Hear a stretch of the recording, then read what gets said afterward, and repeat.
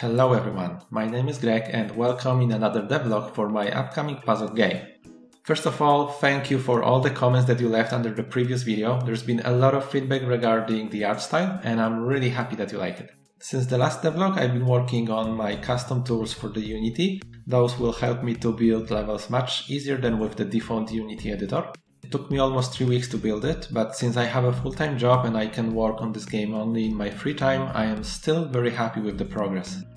When it comes to level design for this game, there are two main parts. The first one is to create ground, and the second one is to add all the environment elements or the uh, interactable elements and other stuff.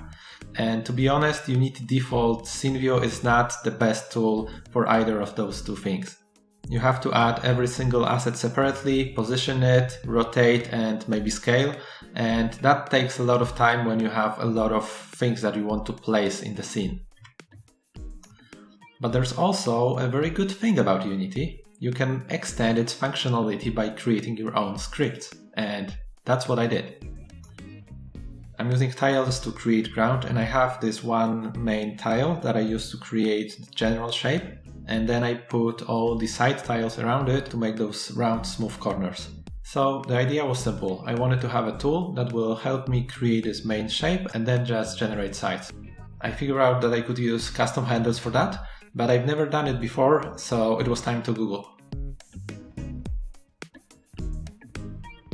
After watching a few tutorials, reading through the documentation and through the Unity source code, it was time to start coding. I started simple just by creating a yellow cube and the idea was uh, that I can click on this yellow cube which will generate ground tile and around this tile more cubes would appear which we could click again and generate more tiles and so on.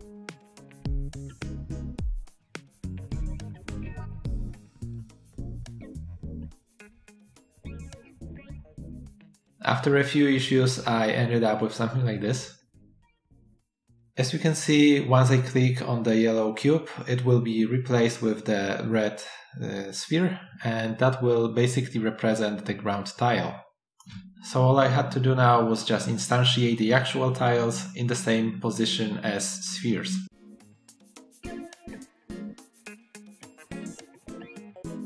And after a while I had a really nice tool to generate a shape, and it was time to tackle the sides problem which was not as simple as I thought, and it took me also a few iterations, mainly because my calculations was wrong in many places.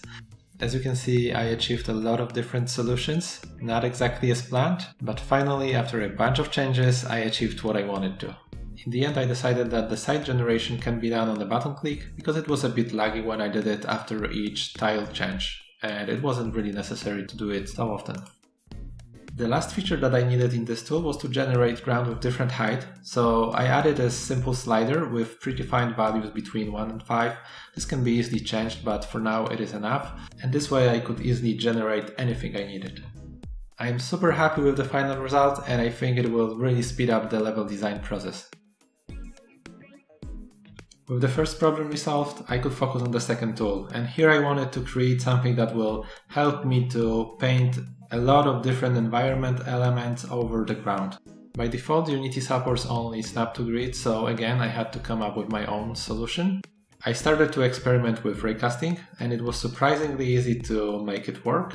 At first I just drew a cube over the ground, but then I added this super awful UI to the scene view, and I could choose my own objects. After the initial implementation, it was time to refactor the code, create a bit nicer UI, add erase tool, and a few other options that I will discuss in a moment. The final implementation looks like this. There is a, slider with all the available assets that I want. Uh, there are also two options for the tools. There is paint and erase, once we select the paint tool, we can choose between the assets and use the left mouse button to instantiate copies over the ground. I've also added shortcuts for rotation and scale, so I don't really have to change the properties of an object with the inspector, I can just use keyboard shortcuts. There is also an additional option when it comes to snapping on the y-axis. Not every asset should snap to the ground, so I've implemented snap to grid option. And in the case that asset doesn't snap to the ground, there will appear a semi-transparent overlay that will indicate the height on which we are actually operating. This tool has its own window, so I can easily enable or disable it. And I can also provide a configuration. And the configuration is a scriptable object. It contains a list of items. Each item has a prefab and snapping options, so I can very easily define how certain items should behave. So with those two tools, I think I should be able to really speed up the development process, test new ideas, add a lot of different levels, and in general improve the development. That would be it for this video. I hope you enjoyed it. Let me know what you think in the comments below and if you want to be notified about new devlogs, please subscribe and I hope to see you soon.